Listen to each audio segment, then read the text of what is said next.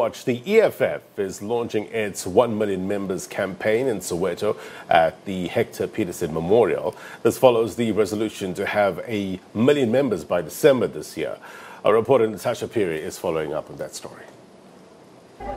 Well, very good morning to you, and of course, to our SABC viewers. We're coming to you all the way from the Hector Pieterson Memorial here in Soweto, where the EFF is just about to launch its 1 million EFF membership uh, campaign. And of course, uh, you would remember earlier on this year when the EFF had its plenum uh, in January, uh, the CCT had actually, you know, uh, deliberated and said that it would be focusing on growing the party this year and rebuilding the organization, and of course intensifying its public recruitment drives ahead of uh, the national polls in 2024. The Central Command Team, uh, CCT rather, uh, had actually resolved and had uh, branded the year 2022 as the year of the branch. And of course, they will be openly recruiting people. You heard there the CIC yesterday saying that by the year of uh, by the end of the year, t- uh, December 2022, uh, the party should have about a million card-carrying members. But actually, talk us more through this, we're joined by the Secretary General of the party, Mr. Marshall Dlamini. Uh, Mr. Dlamini, you've been very busy this week, in and out of court, SONA, and now you're launching uh, your campaign. I mean, what is the importance of this, and how feasible would it be to actually reach those uh, 100, uh, 1 billion uh, targets? Well, greetings to the viewers at home. Yes, it's been a busy week, but it's, uh, it's who we are as the EFF. We're an organization that is busy because ours is a commitment to people of South Africa. Until all of them they've achieved economic freedom in their lifetime, we're going to remain busy. The CCT met on the, the Central Command Team, which is the highest decision-making uh, board between conferences, met on the 21st of uh, January and took a resolution that we need uh, to go back to the branches. We, we need to go back to the basics. That's why it resolved that uh, this year it's a year of the branch, meaning that all of us as members of the EFF, from national leadership, all of us, uh, we're going to go back to our branches, renew our members, and make sure that we reach a target of 1 million, not just 1 million members in terms of data, but we want 1 million activists on the ground because we know that the strength of this organization as outlined in our constitution is that the basic unit of the EFF it's a branch.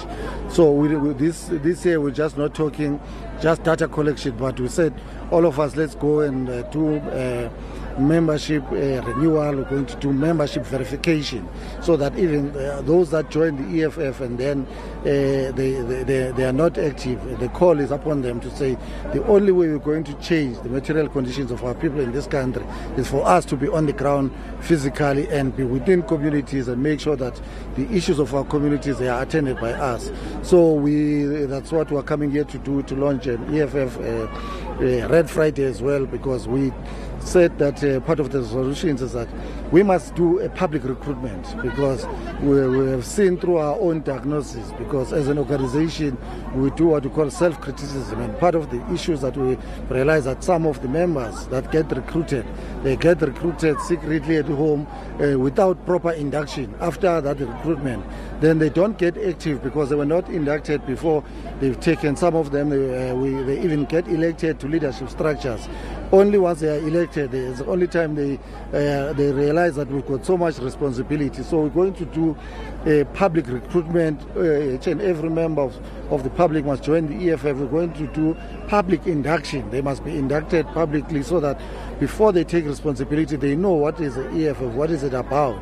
They must know that uh, joining the EFF it means allegiance to uh, to the seven non-negotiable cardinal pillars. So all those things things are as part of rebuilding the organization so that our members they uh, they understand the policies of the organization. They must not get shocked once they are members that we want uh, expropriation of land without compensation. So it is a program today. The president and the commander in chief is going to give the key uh, note address uh, in terms of uh, what is the plan uh, from here up until uh, December. But ours is to take it back to the basics, to the branches, to the ground, to our communities. Mr. Dlamini, your target is 1 million um, members. What is your current membership? Look, the current membership now is sitting uh, at above uh, 600,000, but we are saying even those members, all of us, we are renewing because, as I'm saying, that we don't want to work, we don't want to deal with data. We want active uh, fighters, one active ground forces that we can count. That is what part of what we're going to be doing is membership verification. So the branches have to go and call their own membership and say uh, we are, want to verify these members physically, so that all of us we get re-inducted, all of us we understand what is expected of us. So we, we will reach uh, that one million easily uh, as members. But we are saying we don't want one million just of data because that is not going to help us on building the organization. We need active people on the ground that we can touch and verify on daily basis. And this campaign is also targeted at growing the EFF. I mean, in 2016, your numbers were at 8%. Last year, around 10%. You further want to grow the party towards the 2024 uh, national elections. What is your target for then? Look, we the, the target is to get 1 million members that are going to be activists of the EFF, not supporters. We're talking members, and members they must be activists. That means they must be part of the uh, uh, the daily activities of the organization at a branch level, at a community level. They must be the lifeblood of the organization because the target is that for 2024 we are going for everything. We are going for a total takeover of, of the country. We knew what happened to 2021, and we had a, a, a, a two-year slump because of uh, COVID-19. That's why we've taken a decision that now that uh, we believe COVID is past us and it's never coming back again to disrupt society, it's time that we must go and be with our people because we haven't been uh, with our people for the last two years because of the restrictions. Let's also talk about uh, you know issues that occurred this week. Um, mainly besides your court um, case, uh, the president had a media briefing with members of the media. He spoke about the JSC. You know that uh, Commissioner, uh, EFF uh, leader Julius Malema actually sits on the JSC. They've recommended Justice Maya to be the next Chief Justice. Speaking to members of the media on Thursday, the president had said that the prerogative actually lies with him. Uh, although the JSC has actually chosen Justice Maya, he will be consulting with political parties over this matter. Have these consultations actually happened between the president? Look, he has not consulted with us, but there's nothing to consult with us. There is a structure of JSC but he's the one that said he would be consulting with political parties after reading the report uh, by the JSC. No, but you must know that he's a democratic uh, elected president. He's not a supreme ruler. This is not his private property. He still works within the confines. Is that going to pass the public scrutiny? Is is it going to make uh, because even if he's taking a decision, they must be rational. Can't just take a decision because he's a president. He's a politician. He's elected uh, through parliament. So even if he's a president, yes, he's, he's got the final say, but they must make sense. They must be rational. They can't just uh, do things because that means tomorrow he can just wake up and say, because I'm the president, uh, there must be death sentence against South Africa. It, it doesn't work that way. So he must stop dreaming. There is a process that was taken through the JSC. They said on a long process which South Africans, it was done uh, in a transparent manner, which South Africans, they observed that process and uh, and, and, and, the candidate uh, uh, uh, Maya is one that was recommended. And we don't expect anything. That's why I said there's no need for consultation because all those things were done transparently. Why does want to do a secret meeting when interviews were done transparently and people of South Africa, they saw it and they witnessed it.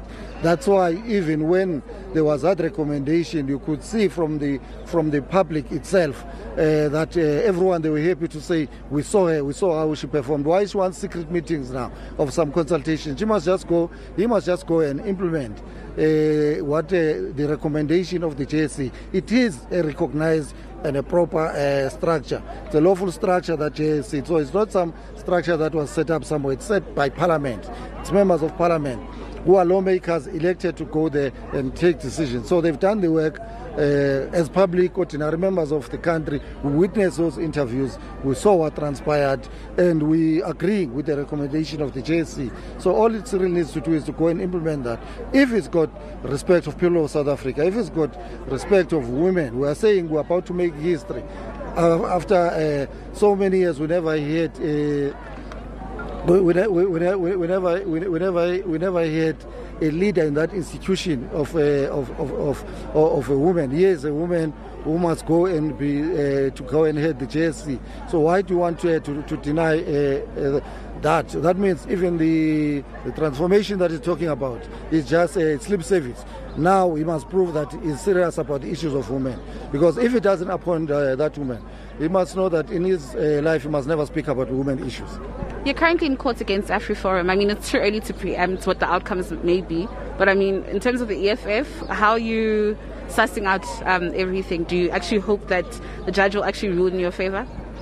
Look, we leave that to the judge, but we were confident. We went uh, to court, we presented our, our, our, story, and everything that we've said to that court, we stand by it.